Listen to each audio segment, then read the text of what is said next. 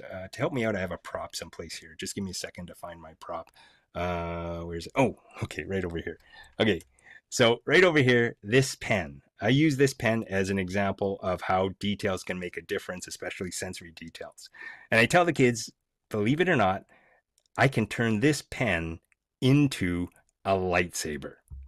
You sit on a throne of lies. but it's true. It's true. It's true. Hold on. Hold on. Uh, I can prove it to you.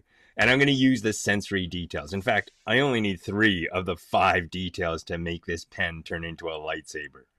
Now, first of all, I can feel the pen getting warm between my fingers. And if I listen carefully, I can hear the faint hum of the energy collecting in the pen. And then, when I look down, I see a bolt of energy coming out of my lightsaber pen. Alright, now that I've made a lightsaber, time for me to uh, figure out how to use this thing. I know. Watch this.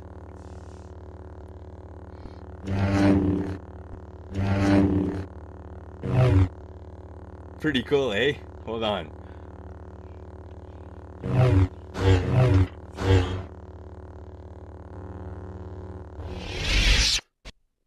And there you have it. With just a few sensory details, I turned this pen into a lightsaber.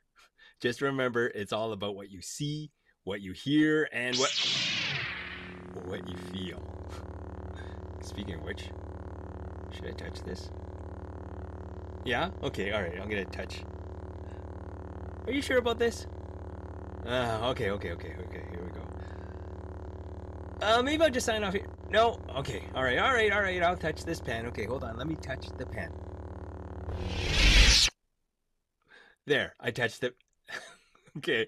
Oh, you want me to touch the lightsaber? Okay.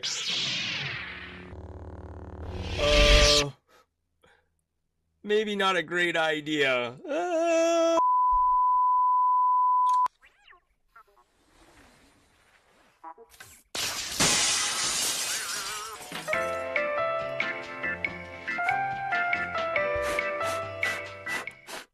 Okay.